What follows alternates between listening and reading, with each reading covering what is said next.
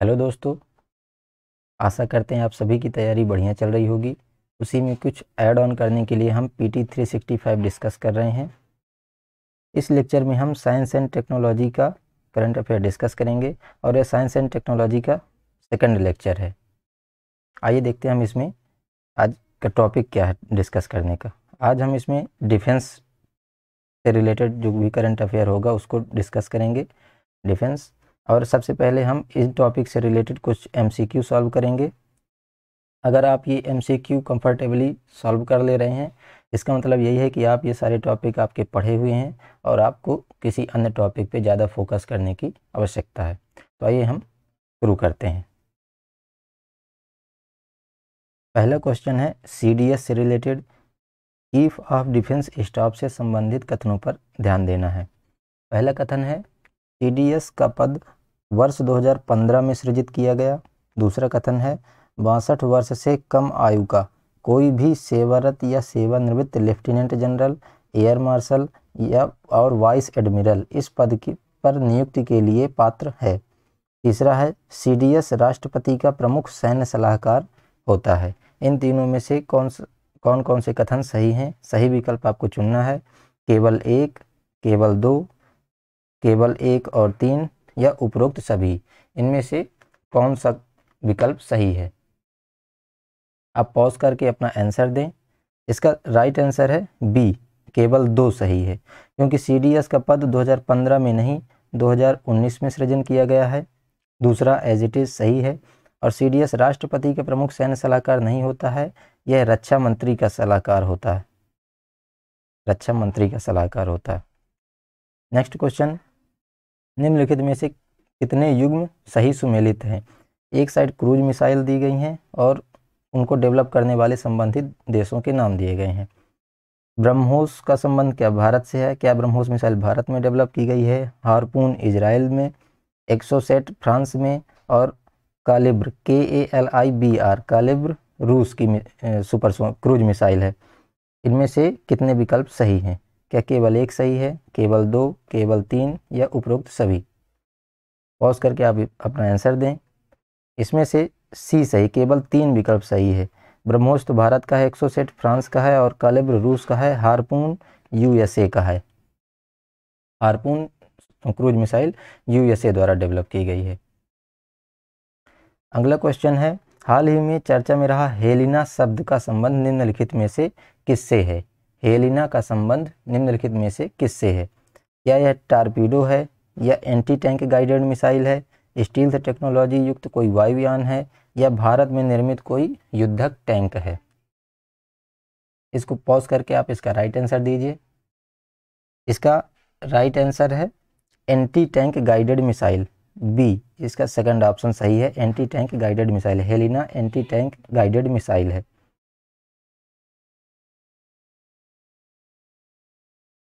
हाल ही में चर्चा में रहा वागीर।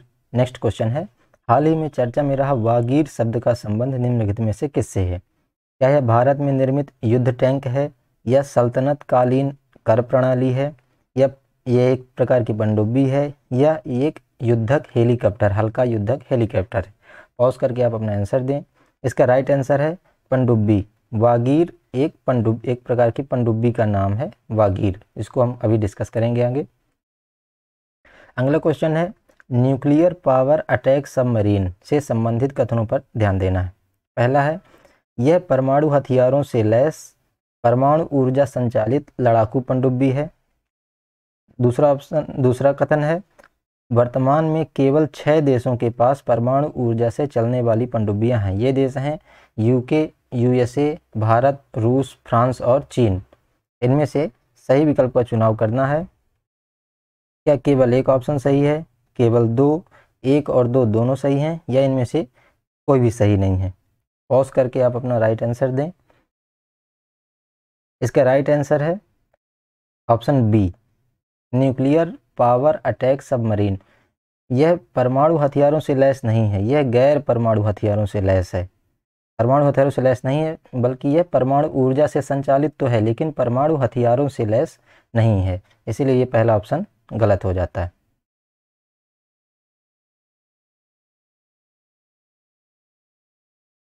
नेक्स्ट क्वेश्चन है, प्रोजेक्ट 15 बी, इसका संबंध निम्नलिखित में से किससे है? क्या यह विध्वंसक युद्ध पोतों के निर्माण से संबंधित है? प्रोजेक्ट 15 बी, यह परमाणु हथियारों से लैस पनडुब्बियों के निर्माण से संबंधित है। या यह चीन से लगने वाली सीमा के 15 रणनीतिक क्षेत्रों में संरचनात्मक विकास से संबंधित है। या नीति आयोग द्वारा जारी 15 वर्षीय कोई कार्य योजना है। आप इसका पॉज करके इसका राइट आंसर दें। इसका राइट आंसर है, प्रोजेक्ट 15 बी विध्वंसक युद्ध पोतों के निर्माण से संबंधित है। पहला इसका राइट आंसर, प्रोजेक्ट 15 बी विध्वंसक युद्ध पोतों के निर्माण से संबंधित है। मतलब लड़ाकू जहाज़ जल जहाज़ों से, के निर्माण से संबंधित है प्रोजेक्ट 15 बी। अगला क्वेश्चन है, प्रोजेक्ट 75 आई का संबंध निम्नलिखित में से किससे है? क्या यह विध्वंसक युद्ध पोतों के निर्माण से संबंधित है, उन्नत पनडुब्बियों के निर्माण से संबंधित है, या 75 उपग्रहों की मदद से संपूर्ण भारत में इंटरनेट की उपलब्धता सुनिश्चित करने से संबंधित है, या युद्धक टैंकों के निर्माण से संबंधित है? पॉज करके आप अपना राइट आंसर दें। इसका राइट आंसर है, ये उन्नत किस्म के पनडुब्बियों के निर्माण से संबंधित है। प्रोजेक्ट 75 आई उन्नत किस्म के पनडुब्बियों के निर्माण से संबंधित है। आइए आज के हम अपने टॉपिक पे चल मेन टॉपिक पे चलते हैं।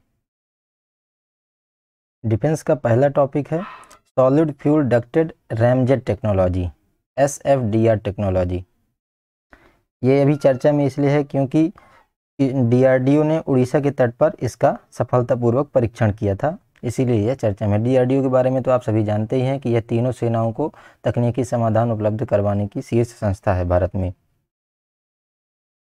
एस एफ़ डी आर क्या है? यह मिसाइल प्रणोदन एक प्रणाली है। एस एफ़ डी आर क्या है? यह एक प्रकार की मिसाइल प्रणोदन प्रणाली है, जिसमें reduced smoke nozzle less missile booster के साथ thrust modulated rocket duct rocket का इस्तेमाल होता है। और ये भारत रूस की संयुक्त अनुसंधान का एक परिणाम है और इसके रिसर्च के दौरान इसने मैक थ्री की गति हासिल की थी। यह प्रणाली ठोस ईंधन वाले एयर ब्रीदिंग रैमजेट इंजन का प्रयोग करती है। अब एसएफडीआर तकनीकी का महत्व क्या है? इसका सबसे बड़ा इंपॉर्टेंस ये है कि यह लंबी दूरी की हवा से हवा में मार कर सकने वाली मिसाइल को विकसित करने में क्षमता प्रदान करेगी। अब ये लंबी दूरी क्यों तय करती है? लंबी दूरी तय करने का मेन रीज़न है क्योंकि ये मिसाइलें ऑक्सी कारक के रूप में ऑक्सीजन एक ऑक्सीजन का अलग कंपार्टमेंट बनाने की आवश्यकता नहीं होती। मिसाइल जैसे ये मिसाइल है, एक कंपार्टमेंट ऑक्सीजन का बनाने की आवश्यकता नहीं होती। इसके जगह पे और कोई पेलोड दिया जा सकता है। और यह तो इसको ऑक्सीजन मतलब बर्निंग के लिए ऑक्सीजन की ऑक्सीजन की ज़रूरत कहाँ से पूरी करता है? यह वायुमंडल के द्वारा ऑक्सीजन लेता है। इसलिए ऑक्सीजन का जो भी वेट होगा, जो भी कंपार्टमेंट है, वो खाली रह जाता है। तो ये हल्की हो जाती है, जिस कारण से इसकी दूरी में इजाफा हो जाता है। तो यह लंबी दूरी की हवा से हवा में मार करने वाली मिसाइल को विकसित करने में महत्वपूर्ण टेक्नोलॉजी है एस एफ़ डी आर और ये सुपरसोनिक गति को अत्यधिक सटीकता के साथ बहुत लंबी दूरी तक हवाई खतरों को नष्ट करने में क्षमता प्रदान करती है। ठोस प्रोडोदक वाले रॉकेटों के विपरीत रैमजेट उड़ान के दौरान ऑक्सीजन वायुमंडल से लेता है। यह वज़न में हल्का होता है और इन, अधिक ईंधन ले जा सकता है। इसकी रेंज 70 से 340 किलोमीटर के बीच में रहती है। अब हम देख लेते हैं कि रैमजेट और स्क्रैमजेट में अंतर क्या है। इसमें टोटल तीन अवधारणाएँ होती हैं। एक को रैमजेट टेक्नोलॉजी कहते हैं और एक स्क्रैमजेट टेक्नोलॉजी होती है और एक डुअल मोड रैमजेट होता है। डुअल मोड रैमजेट कुल मिला के होता है कि उसकी स्पीड में कुछ अंतर करके एक बार वो स्क्रैमजेट का काम करेगा और एक बार रैमजेट का काम करेगा। आइए देख लेते हैं रैमजेट क्या है। रैमजेट और स्क्रैमजेट, ये दोनों में कंप्रेसर यूज़ नहीं होता।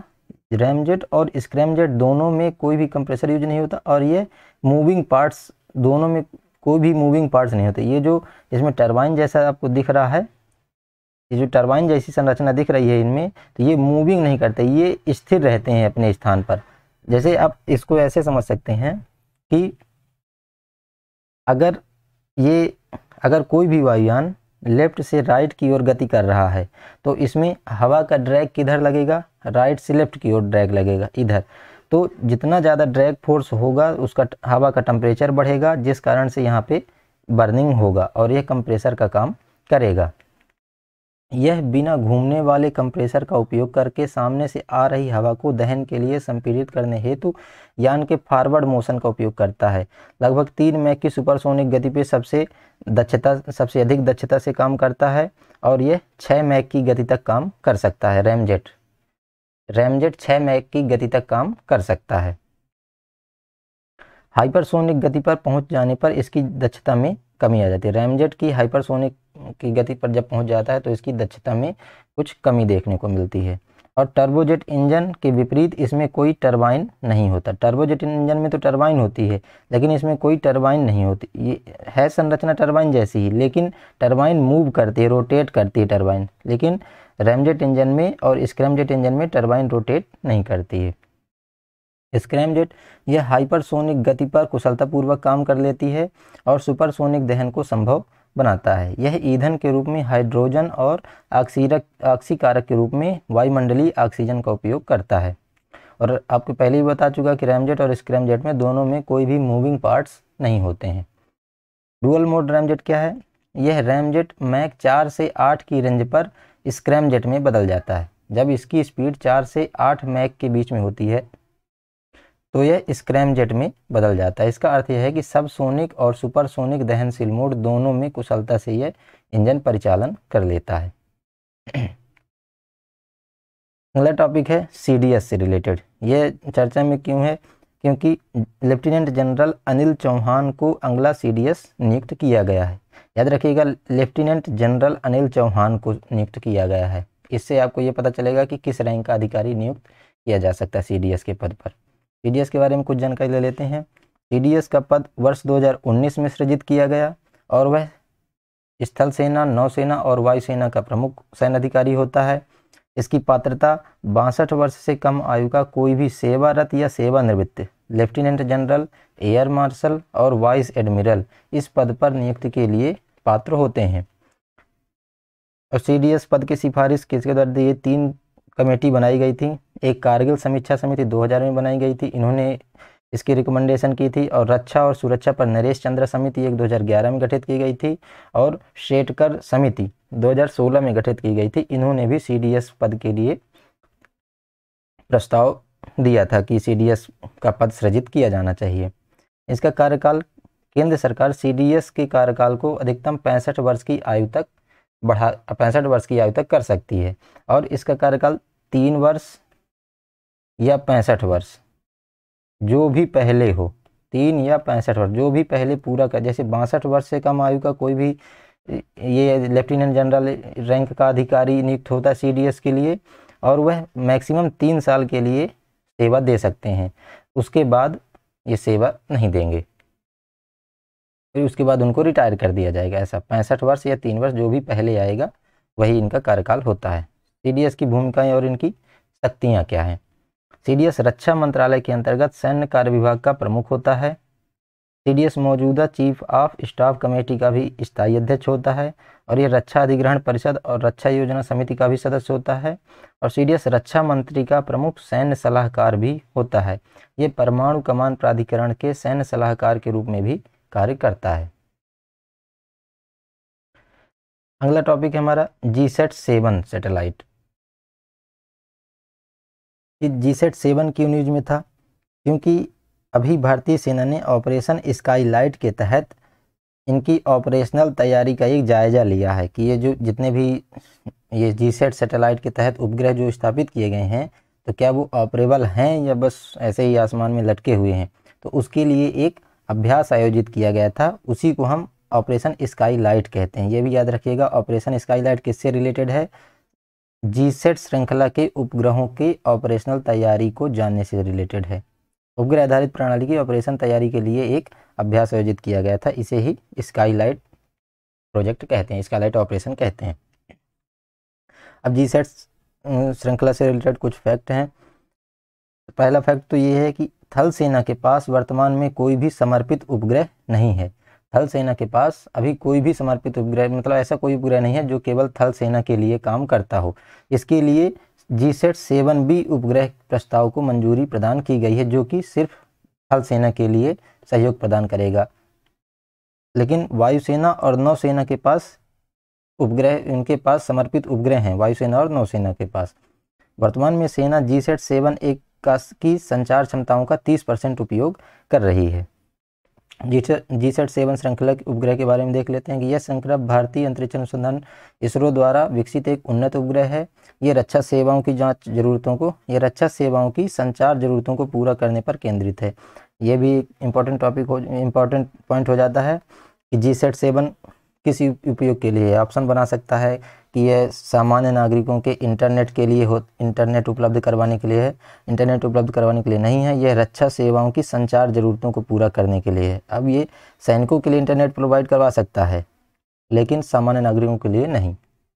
जी सेट सेवन उपग्रह को वर्ष 2013 में प्रक्षेपित किया गया था। इसका उपयोग मुख्य रूप से भारतीय नौसेना अपनी संचार आवश्यकताओं के लिए करती है। यह नौसेना को एक सुरक्षित और रियल टाइम संचार लिंक स्थापित करने में मदद करता है। जी सेट सेवन ए को वर्ष 18 में प्रक्षेपित किया गया था।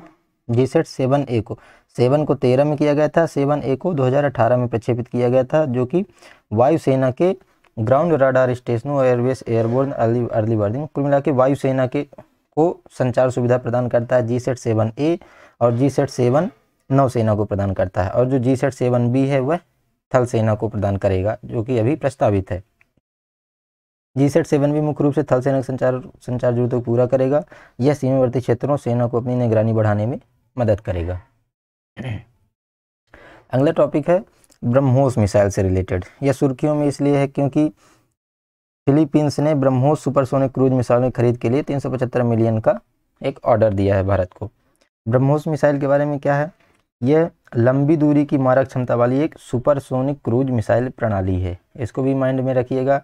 सुपर सोनिक क्रूज मिसाइल है, यह कोई बैलिस्टिक मिसाइल नहीं है। सुपरसोनिक क्रूज मिसाइल है। इसे भूमि स्थित और समुद्र आधारित लक्ष्यों को, के विरुद्ध भूमि और, भूमि, समुद्र और हवा से दागा जा सकता है। ब्रह्मोस को भूमि, समुद्र और हवा तीनों स्थानों से दागा जा सकता है। लेकिन कहाँ पे? भूमि और समुद्र आधारित लक्ष्यों पे। ब्रह्मोस को हवा हवा में आधारित मतलब वायु में आधारित लक्ष्यों के लिए नहीं यूज़ किया जाता है। इसे भूमि स्थित और समुद्र आधारित लक्ष्यों के विरुद्ध भूमि, समुद्र और हवा से दागा जा सकता है। और ब्रह्मोस मिसाइल का विकास भारत और रूस के द्वारा किया गया। भारत का तो डीआरडीओ ही है, रूस के एक है मशीनो एस्टोनिया संस्था है रूस की, उसके द्वारा विकसित किया गया है ब्रह्मोस को, भारत और रूस के द्वारा। इसका नामकरण भारत की ब्रह्मपुत्र नदी और रूस की मास्कोवा नदी मोस्कवा नदी के नाम पर किया गया है। ब्रह्मपुत्र और मोस्कवा नदी के नाम पर। यह दो चरणों वाली मिसाइल है। प्रथम चरण में ठोस प्रौद्योगिक का उपयोग करता है दूसरे में तरल रैमजेट इंजन का उपयोग करता है। दागू और भूल जाओ सिद्धांत पर काम करती है और इसकी रेंज मूल रूप से 290 किलोमीटर तय की गई थी। भारत वर्ष 2016 में मिसाइल प्रौद्योगिकी नियंत्रण व्यवस्था में शामिल हुआ था। मिसाइल प्रौद्योगिकी नियंत्रण व्यवस्था में भारत शामिल हो चुका है 2016 में शामिल हुआ था। इसके बाद से इसकी सीमा को साढ़े चार सौ किलोमीटर और 600 किलोमीटर तक बढ़ाने का निर्णय लिया गया है। ब्रह्मोस के समकक्ष अन्य मिसाइलियाँ मिस, मिसाइल कौन कौन से हैं? विश्व में चीन की है H D one supersonic missile America और उसके सहयोगियों की सहयोगियों की है टॉम हॉक मिसाइल इसराइल की है, सी ब्रेकर जो ब्रह्मोस के समकक्ष मानी जाती हैं। और पी एट हंड्रेड ओनिक्स या याकोंत, ये रूस की मिसाइल है। ये याद रखिएगा, ये ब्रह्मोस की समकक्ष मिसाइलें हैं। Tomahawk, H D one supersonic missile Israel की सी ब्रेकर और पी एट हंड्रेड। अब क्रूज मिसाइल और बैलिस्टिक मिसाइल में अंतर देख लेते हैं।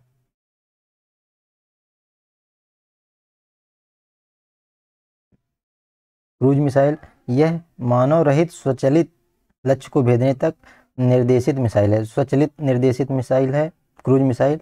यह अपने उड़ान पथ पर अधिकांश समय तक वायुगत की लिफ्ट के माध्यम से उड़ान भरती है। यह पृथ्वी के वायुमंडल के भीतर भी उड़ान भरती है। इसमें जेट इंजन प्रौद्योगिकी का उपयोग किया जाता है। क्रूज मिसाइल में जेट इंजन प्रौद्योगिकी का उपयोग किया जाता है। जैसे ब्रह्मोस, हारपून, एक्सोसेट, ये क्रूज मिसाइलें हैं। हारपून, यूएसए की क्रूज मिसाइल है। एक्सोसेट फ्रांस की है और ब्रह्मोस भारत की क्रूज मिसाइल है। बैलिस्टिक मिसाइल क्या होती हैं? ये बैलिस्टिक प्रक्षेप प्रक्षेप वक्र होता है। बैलिस्टिक प्रक्षेप वक्र क्या होता है? ये ऐसा जो वक्र एक बनता है, ये बैलिस्टिक प्रक्षेप वक्र कहलाता है। बैलिस्टिक मिसाइल का ऐसा ही वक्र बनता है। इसमें क्या होता है कि एक बूस्टर लगा होता है, रॉकेट बूस्टर यहाँ पे लगा होता है। एक रॉकेट है बूस्टर लगा होता है, ये एक निश्चित दूरी पर, जैसे लक्ष्य जो भी तय करेंगे, उस हिसाब से कैलकुलेट करके एक निश्चित ऊंचाई तक जाता है, फिर बूस्टर यहाँ से अलग हो जाएगा। बूस्टर अलग होने के बाद यह फ्री फॉल इसका होता है, अपने लक्ष्य पे ग्रेविटी के ग्रेविटी के प्रभाव में फ्री फॉल इसका होता है और अपने लक्ष्य में जाके ये अपना काम करता है। यह कहलाता है बैलिस्टिक प्रक्षेप वक्र। भले ही इसमें हथियार से लैस क्यों ना हो। इसे आरंभिक चरण में रॉकेट बूस्टर के माध्यम से एक निश्चित ऊंचाई तक पहुँचाया जाता है आपको बता चुका हूँ। और गुरुत्वाकर्षण के अधीन यह अपने लक्ष्य पर हमला कर देती है। पृथ्वी श्रृंखला की जितनी मिसाइल हैं, अग्नि श्रृंखला की और धनुष ये सभी बैलिस्टिक मिसाइल में आते हैं। और इनका वर्गीकरण होता है लॉन्च मोड, रेंज और प्रपोल्सन सिस्टम के आधार पर कि रेंज कितनी है, उस हिसाब से बैलिस्टिक मिसाइल का वर्गीकरण किया जाता है। और क्रूज मिसाइल का वर्गीकरण किया जाता है उसकी स्पीड के हिसाब पर। जैसे अगर एक एक मैक से कम है तो सब सोनिक और दो से तीन मैक के बीच में है तो सुपर सोनिक और पाँच मैक से ज़्यादा है तो हाइपरसोनिक कहलाएगा। तुर्की में रही अन्य मिसाइलों के बारे में देख लेते हैं। अग्नि मिसाइल। अग्नि मिसाइल को भारत के परमाणु हथियारों के लिए एक आधार के रूप में जाना जाता है। अग्नि सीरीज़ की जितने भी मिसाइल मिसाइल हैं, ये परमाणु हथियारों के एक आधार के रूप में जाने जाते हैं। अग्नि थ्री अग्नि थ्री का भी परीक्षण किया गया है और जिसकी मारक क्षमता तीन हज़ार किलोमीटर से अधिक है। अग्नि थ्री की मारक क्षमता तीन हज़ार किलोमीटर से अधिक है और यह डेढ़ टन से अधिक का पेलोड ले जाने में सक्षम है। अगली मिसाइल जो चर्चा में है, वो है एस फोर हंड्रेड एक ये डिफेंस सिस्टम है। भारत को रूस से एस फोर हंड्रेड मिल गया है। एस फोर हंड्रेड एक लंबी दूरी की सचल सतह से। सचल सतह से, यानी कि मूवेबल व्हीकल जैसे ट्रक वगैरह में इसको रख के हवा में मार करने वाली मिसाइल प्रणाली है। यह प्रणाली चार अलग अलग मिसाइलों से लैस है। यह शत्रु के विमानों बैलिस्टिक मिसाइलों airborne warning and control system यानी कि आवाक्स विमानों को, ये इनको विमानों को बैलिस्टिक मिसाइल को भी यह विध्वंस कर सकता है। या आवाक सिस्टम को भी कंट्रोल कर सकता है, को भी विध्वंस कर सकता है। यह लगभग 400 किलोमीटर 250 किलोमीटर और 120 किलोमीटर और 40 किलोमीटर तक की दूरी में ये इनको विध्वंस कर सकता है। इसकी प्रतिक्रिया समय क्या है? 9 से 10 सेकंड में यह प्रतिक्रिया करता है और 80 से ज़्यादा लक्ष्यों को यह एक साथ निशाना बना सकता है, S four system. Anti tank guided missile का भी विकास किया गया है डीआरडीओ के द्वारा। स्वदेशी रूप से विकसित किया गया, जो कि लेजर गाइडेड है एंटी टैंक गाइडेड मिसाइल। यह युद्धक टैंक अर्जुन से इसका परीक्षण किया गया है। और यह कुल मिला के इसका बख्तर बंद वाहनों को नष्ट करने के लिए इसका उपयोग किया जाएगा। एंटी टैंक गाइडेड मिसाइल का टैंक को नष्ट करने के लिए उपयोग किया जाएगा। उन्हीं को ही बख्तरबंद वाहन कहते हैं। इसे मल्टी प्लेटफॉर्म लॉन्च क्षमता के साथ विकसित किया गया है। अगला सिस्टम है man portable anti tank guided missile मानव के द्वारा उसको या एक स्थान से दूसरे स्थान तक मैनुअली पोर्ट किया जा सकता है। इसमें मशीनों की आवश्यकता नहीं पड़ेगी। यह डीआरडीओ ने ही इसको विकसित किया है। यह स्वदेशी एंटी टैंक गाइडेड मिसाइल है। यह कम वज़न वाली व दागो व भूल जाओ प्रणाली पर फायर एंड फॉरगेट के सिद्धांत पर है।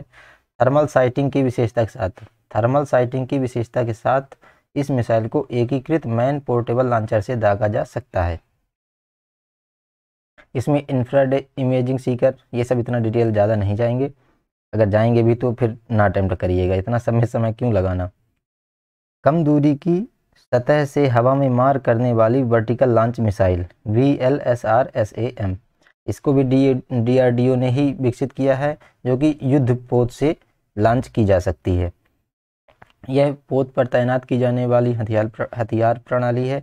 सी, स्कीमिंग करने वाले लक्ष्यों को सहित, लक्ष्यों सहित सीमित दूरी के विभिन्न हवाई खतरों को निष्प्रभावी कर सकती है। सी, स्कीमिंग मतलब होता है जैसे समुद्र में कोई है, वो आँख मचौली का खेल कर देखने में नहीं आ रहा, एक जगह स्थिर नहीं है, उसको भी यह लक्ष्य बना सकती है। V, L, S, R, S, A, M system.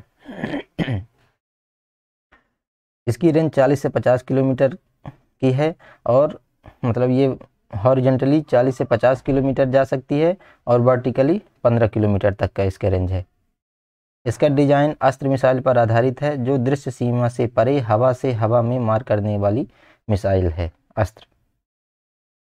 Quick reaction surface to air missile इस डीआरडीओ ने विकसित किया है।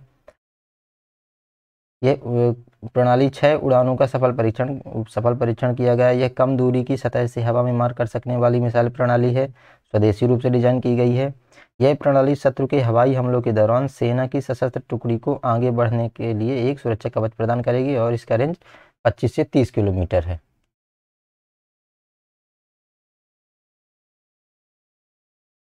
अगला है very short range air defence system इसमें कुछ भी नहीं है पढ़ने लायक, जो एग्ज़ाम में पूछेगा। नेक्स्ट इंपॉर्टेंट है हेलिना। ये एग्ज़ाम में पूछा जा सकता है। ये आप इसको फाइव स्टार जैसा इंपॉर्टेंट दे सकते हैं। हेलिना, ये क्या है? यह anti tank guided missile system है और यह स्वदेशी रूप से विकसित मिसाइल है। इसको हेलीकॉप्टर से लॉन्च किया जा सकता है। इसको ऐसे याद रखिएगा, हेलिना हेलीकॉप्टर हेलिना हेलीकॉप्टर से लॉन्च किया जा सकता है। यह तीसरी पीढ़ी की दागो और भूल जाओ श्रेणी की एंटी टैंक गाइडेड रोडी एंटी टैंक मिसाइल है। और यह एडवांस लाइट हेलीकॉप्टर पर स्थापित की जाती है और यह दिन और रात तथा सभी मौसमों में एक्टिव रहती है। ये हेलिना मिसाइल सिस्टम सभी मौसमों में कार्य करने में सक्षम है। अस्त्र एम के वन ये क्या बियॉन्ड विजुअल रेंज की हवा से हवा में मार करने वाली मिसाइल है।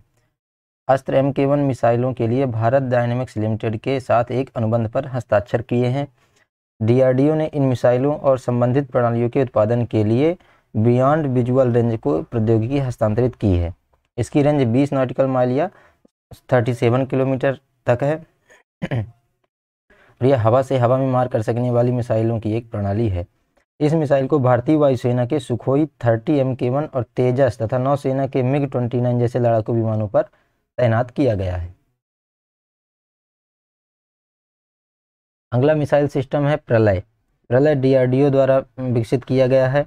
प्रलय मिसाइल के बारे में जानकारी ले लीजिए। यह सतह से सतह में मार कर सकने वाली मिसाइल है। 10 मीटर से कम की सटीकता है इसकी और मारक क्षमता 150 से 500 किलोमीटर तक की है। इसमें मार्गदर्शन प्रणाली है, अत्याधुनिक नेविगेशन और एकीकृत एविएशन सिस्टम शामिल है। हमारा अगला टॉपिक है सबमरीन्स, पनडुब्बी। ये न्यूज़ में इसलिए क्योंकि एक वागीर नाम की पनडुब्बी नौसेना में शामिल की गई है। वागीर नाम की एक पनडुब्बी, ये क्वेश्चन भी इसका फ्रेम किया गया था। वागीर नाम की पनडुब्बी नौसेना में शामिल की गई है। इसे Mazagon dock dock shipyard limited द्वारा बनाया गया है, प्रोजेक्ट 75 के तहत।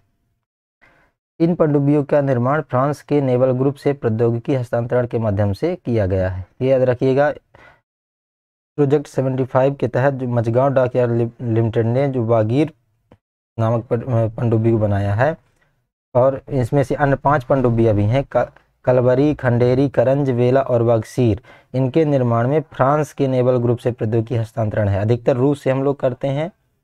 रूस से तो ये रूस से नहीं, फ्रांस से प्रौद्योगिकी हस्तांतरण किए हैं। सॉरी ऑपरेटिंग रेंजेस का क्या है? इनमें युद्ध, पोत रोधी व पनडुब्बी रोधी अभियान चलाने, खुफिया जानकारी एकत्र करने, निगरानी करने और नौ सैन्य माइंस बिछाने के लिए इनको डिज़ाइन किया गया है। अब पनडुब्बियों का वर्गीकरण किया गया है।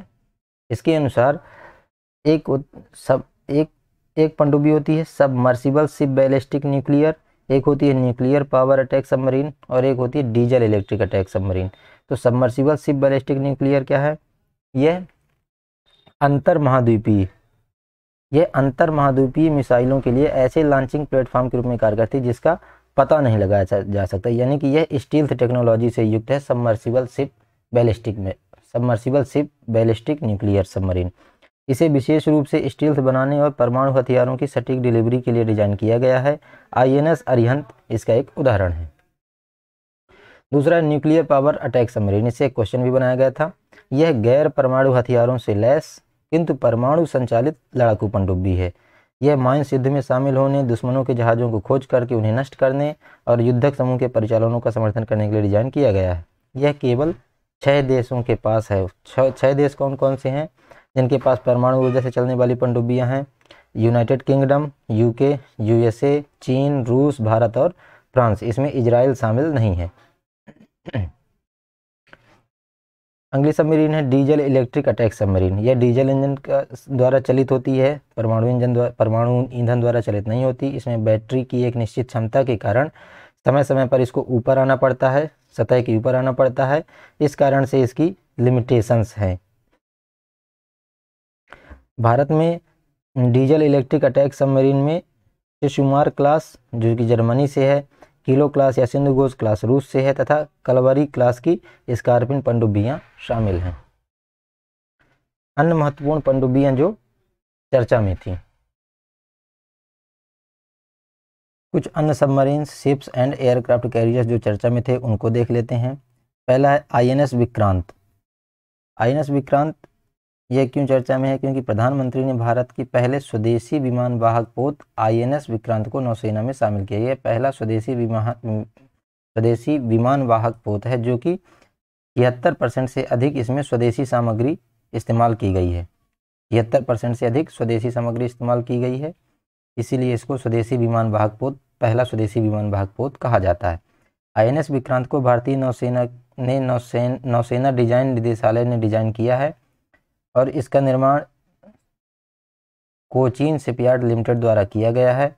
यह पोत परिवहन और जलमार्ग मंत्रालय के अधीन आता है। भारत के पास पहले भी विमान वाहक पोत थे, लेकिन या तो ब्रिटिश द्वारा, ब्रिटिश सहायता द्वारा बने हुए थे या फिर रूस की सहायता द्वारा निर्मित थे। ब्रिटिश द्वारा आईएनएस विक्रांत पहले से बना हुआ था, लेकिन अब जो आईएनएस विक्रांत बना है, वो इसमें 76 परसेंट से अधिक भारतीय टेक्नोलॉजी या भारतीय सामग्री का उपयोग किया गया है। Project 15 B. प्रोजेक्ट 15 बी के तहत बने मोर मुगाओ और सूरत पोतों को हाल ही में भारतीय नौसेना को सुपुर्द कर दिया गया। मोर मुगाओ और सूरत पोतों को। ये दो पोत अभी सुपुर्द किए गए हैं, इसलिए ये चर्चा में था। प्रोजेक्ट 15 बी किससे रिलेटेड है? यह पोतों के निर्माण से। पोत यानी कि ये जल जहाज़ जो होते हैं, युद्ध युद्ध में जो उपयोग किए जाते हैं, इनको पोत कहा जाता है। यह प्रोजेक्ट कलकत्ता श्रेणी के विध्वंसक पोतों के निर्माण का अगला चरण है। इसका इसका निर्माण मझगांव डाक शिपयार्ड लिमिटेड द्वारा किया गया है और इसके द्वारा प्रोजेक्ट 15 बी के द्वारा चार युद्ध पोतों का निर्माण किया जाना है। कौन कौन से? विशाखापत्तनम मोर मुगाऊ इम्फाल और सूरत। ये पोत स्टील्थ गाइडेड मिसाइल विध्वंसक हैं। स्टील्थ गाइडेड मिसाइल विध्वंसक मतलब इनसे जो मिसाइल सिस्टम जो लगाया गया है, उनको ट्रैक नहीं किया जा सकता है। Project 17 A. Project project 17 A frigates के तहत पाँचवें युद्धपोत तारागिरी को लॉन्च किए गए। फ्रिगेट्स क्या होते हैं? ये एक तरीके के जंगी जहाज़ को ही फ्रिगेट्स कहते हैं। सेवनटीन ए किससे रिलेटेड है? यही जंगी जहाज़ बनाने से रिलेटेड है। पी सेवनटीन फ्रिगेट्स शिवालिक श्रेणी के उन्नत संस्करण हैं। पी सेवनटीन पोतों को भारतीय नौसेना के युद्धपोत डिज़ाइन ब्यूरो ने घरेलू रूप से डिज़ाइन किया। सेवनटीन ए को घरेलू रूप से डिज़ाइन किया गया है और इनके उपकरण और सिस्टम के लिए 75 परसेंट आर्डर एम सहित स्वदेशी कंपनियों को दिए गए हैं। पचहत्तर परसेंट आर्डर में स्वदेशी कंपनियों का ही हिस्सा रहता है। प्रोजेक्ट 17 ए के द्वारा। अब प्रोजेक्ट 75 आई इसका रिलेशन किससे है? प्रोजेक्ट 75 आई के तहत के तहत छह उन्नत पनडुब्बियों का निर्माण किया जाना है। प्रोजेक्ट 75 आई के तहत छः छः उन्नत पनडुब्बियों का निर्माण किया जाना है।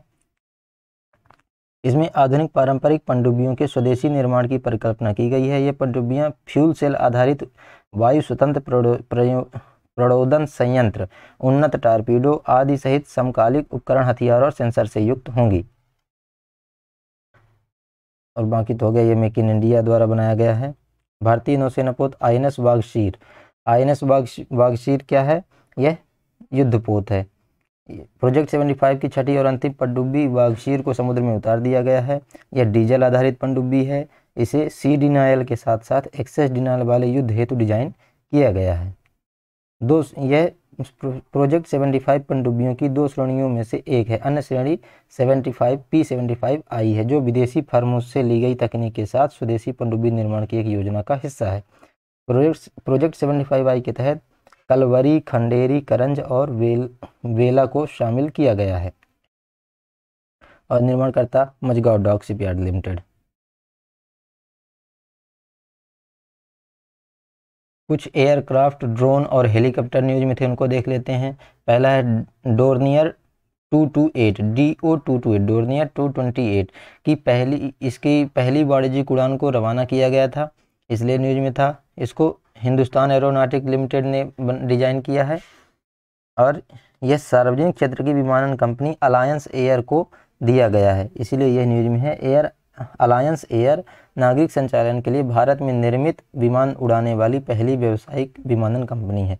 मतलब अभी तक ऐसा नहीं कि पहली व्यावसायिक कंपनी है जो विमान उड़ा रही है भारत में।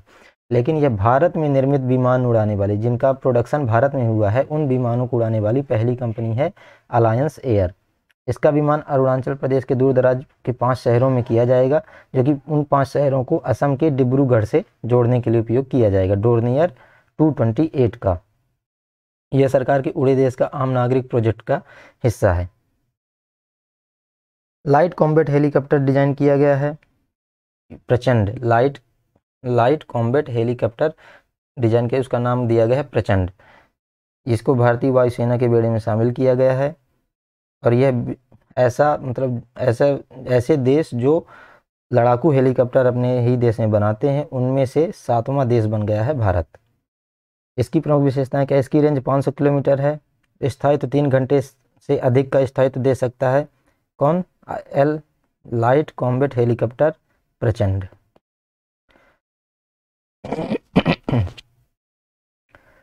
और अधिकतम ऊंचाई है इसकी साढ़े छः किलोमीटर। यह दुनिया का एकमात्र ऐसा लड़ा, लड़ाकू हेलीकॉप्टर है जो 5000 मीटर की ऊंचाई पर उड़ सकता है। और यह हो गया शत्रु को इंफ्रारेड सीकर से बचाता है।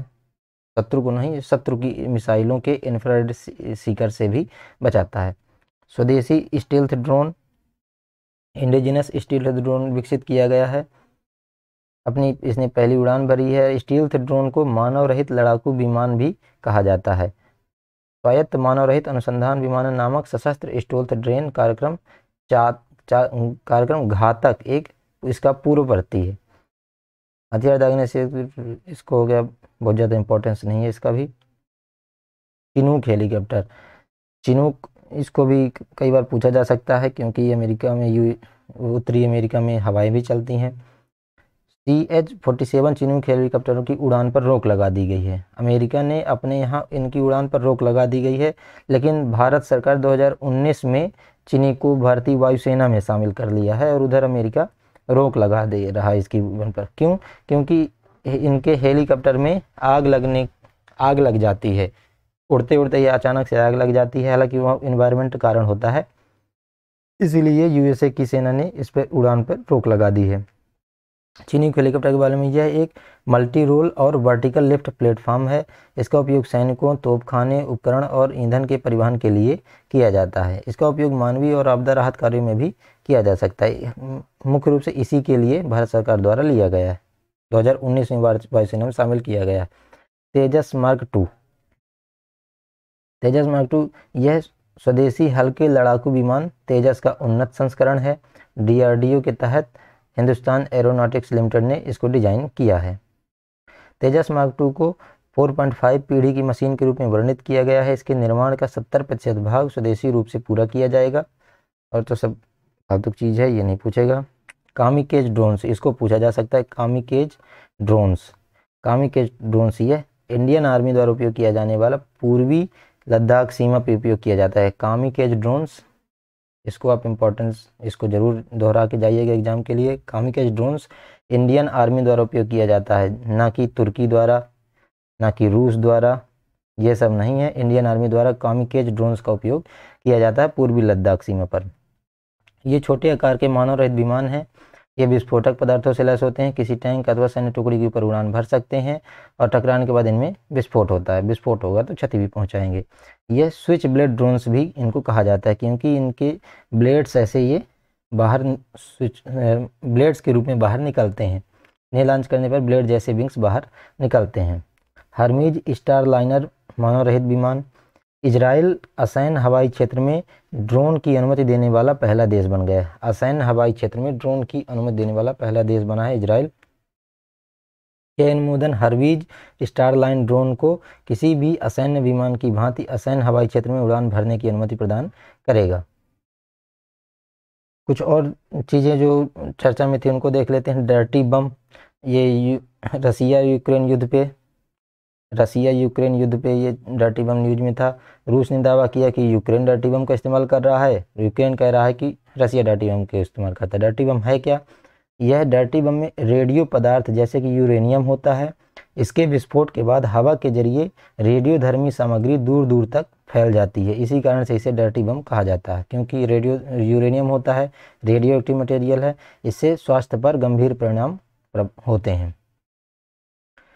इस बम में परमाणु बम के समान अत्यधिक संवर्धित रेडियोधर्मी सामग्री का उपयोग नहीं किया जाता। मतलब सामान्य रूप से यूरेनियम का उपयोग किया जाता है, संवर्धित यूरेनियम का उपयोग नहीं किया जाता। इसमें अस्पतालों, परमाणु ऊर्जा स्टेशनों, अनुसंधान प्रयोगशालाओं से प्राप्त रेडियोधर्मी सामग्री का उपयोग करके किया जाता है। मतलब जो अस्पतालों से रेडियो कचड़ा वगैरह निकलता है, उन्हीं का उपयोग करके डर्टी बम बना लिया जाता है। इसलिए डर्टी बम को परमाणु बम की तुलना में बहुत सस्ते में और तेज़ी से बनाया जा सकता है। भारतीय सेना को कुछ इंडिजिनस डिफेंस इक्विपमेंट सौंपे गए हैं। उनमें से एक है एफ़ इन सास यह क्या है? यह पैदल सेना की आधुनिकीकरण का कार्यक्रम है। इसके तहत सैनिकों को तीन प्राथमिक उपप्रणाली से सुसज्जित किया जाएगा। पहला है दिन और रात में कारगर होलोग्राफिक और रिफ्लेक्स साइट से युक्त अत्याधुनिक असाल्ट राइफल दी जाएँगी, जो कि होलोग्राफिक और रिफ्लेक्स साइट उसमें ऐसी टेक्नोलॉजी होगी कि आप उसमें होलोग्राफिक चित्र भी बना सकते हैं, जो चीज़ स्पष्ट रूप से नहीं दिखती है। विशेष रूप से डिज़ाइन किए गए हेलमेट और बुलेट प्रूफ जैकेट प्रोवाइड कराए जाएँगे और संचार निगरान, निगरानी, संचार और निगरानी प्रणाली उपलब्ध करवाई जाएगी। एंटी पर्सनल माइन निपुण। निपुण क्या है? एंटी पर्सनल माइन है। निपुण।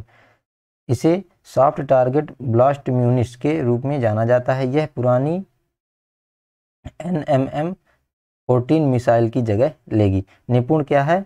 ये याद रखिएगा। निपुण, यह एक तरीके की माइन है। माइन, खदान वाली माइंस नहीं माइंस जो युद्ध क्षेत्र में बिछाते हैं, जैसे मूवी में आप देखा होंगे कि पैर रखते हैं ऐसे, डिब्बे जैसे रहता है, टिफ़िन जैसा पैर रखते हैं, ब्लास्ट हो जाता है, जैसे ही वेट हटाते हैं तो। और दूसरा क्या है? ये लैंडिंग क्राफ्ट असाल्ट, इनको प्रोवाइड करवाया गया है। इसे पेंगांगसो झील में वर्तमान में उपयोग की जाने वाली नावों के स्थान पर लगाया जाएगा। Landing craft assault. अगला है, Carl Mustaf, sorry, Gustaf. Carl Gustaf M four. Carl Gustaf M four.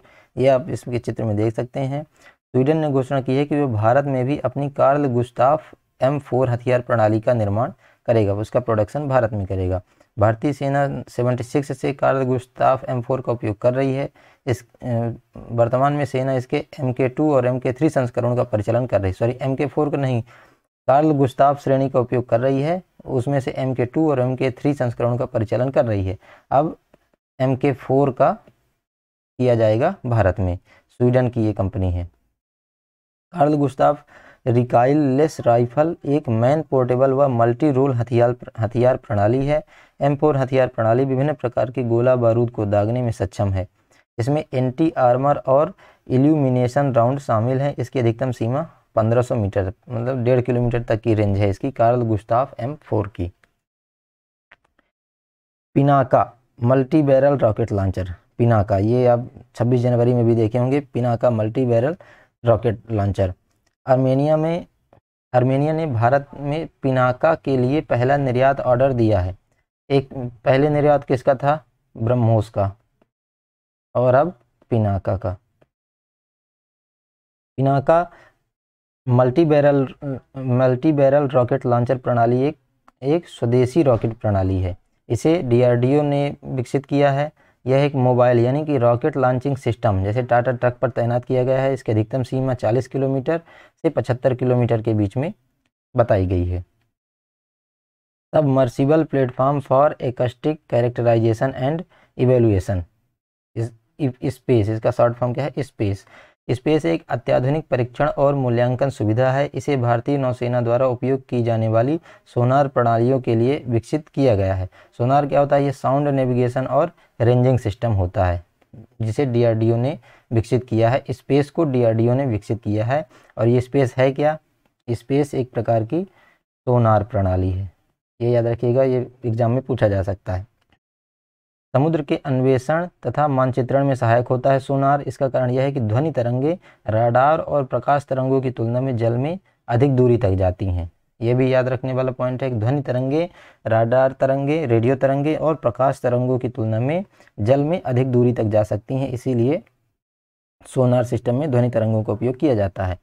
Space space प्रणाली दुनिया में अपनी तरह का एक अनूठी प्रणाली है। यह सुविधा यह सुविधा की विशेषता विशेष रूप से डिज़ाइन किए गए सबमर्सिबल प्लेटफॉर्म में निहित है। इस प्लेटफॉर्म को 100 मीटर की गहराई तक उतारा जा सकता है। ये स्पेस एक प्रकार का सोनार ही है, इसको ऐसा माइंड में रखिए। स्पेस का उपयोग मुख्य रूप से सोनार प्रणालियों के मूल्यांकन के लिए किया जाएगा। इसे सेंसर और ट्रांसड्यूसर जैसे वैज्ञानिक पैकेजों की त्वरित तैनाती तथा आसानी रिकवरी संभव हो सकेगी। अभ्यास अभ्यास क्या है? अभ्यास का सफलतापूर्वक परीक्षण किया गया है। इसका पूरा नाम है high speed expendable target H E A T है इसका शॉर्ट फॉर्म लेकिन नाम दे दिए हैं इसको अभ्यास। ऐसा सब मोदी जी लोग चलन चला दिए हैं छोटे छोटे नाम देने का, पागल किए हुए लोगों को। इसमें ट्विन अंडर स्लंग बूस्टर होते हैं, जो यान को प्रारंभिक तुरंत प्रदान करते हैं। वैसे ये एग्ज़ाम में पूछेगा नहीं, अभ्यास है क्या? अभ्यास एक high speed expendable aerial target system है। जो कि कुल एक मिसाइल सिस्टम ही है एक। यह स्वदेशी व मानव रहित एरियल टारगेट प्रणाली है। यह हवाई खतरों से निपटने में भारतीय सशस्त्र बलों को की सहायता करेगी और यह डीआरडीओ द्वारा विकसित किया गया है। एक high energy laser system, HELS. High energy laser system, ये पूछा जा सकता है क्योंकि ये भी नई टेक्नोलॉजी है।